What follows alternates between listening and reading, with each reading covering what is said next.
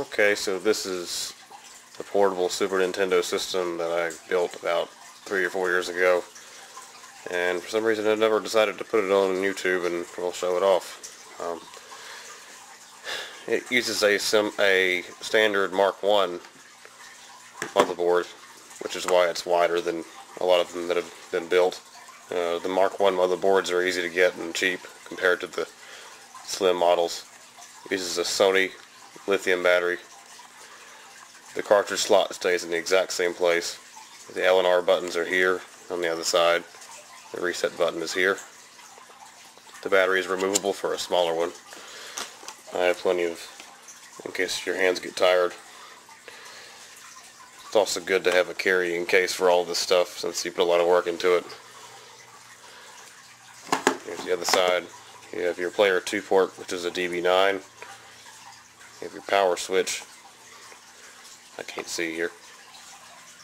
And headphones and external AV jack. This is a power level meter, but of course with the lithium ions discharge curve, it really doesn't make a lot of sense. So it's kind of just for decoration. You know, it looked good on paper, but it didn't work. Your speakers are here and here. Controller is laid out exactly the same as a normal one. Uh, let's turn it on.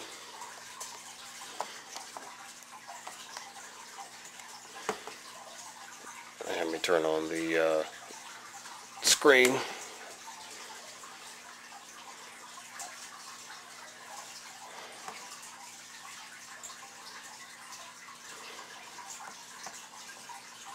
Turn the volume up.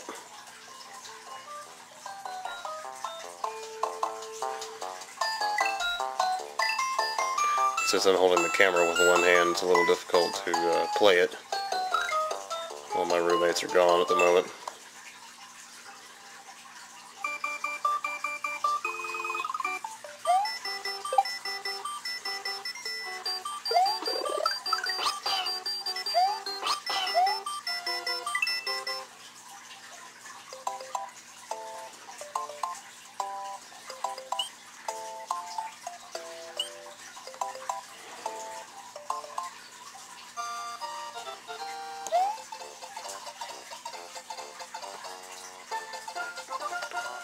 Eh, I can't really do much else with one hand.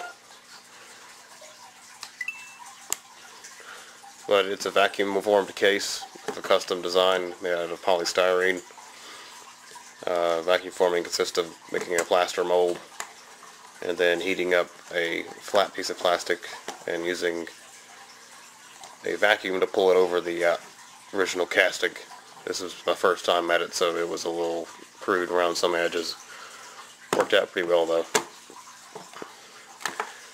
And the power inverter for the light is right there to save space. Yeah. That's it.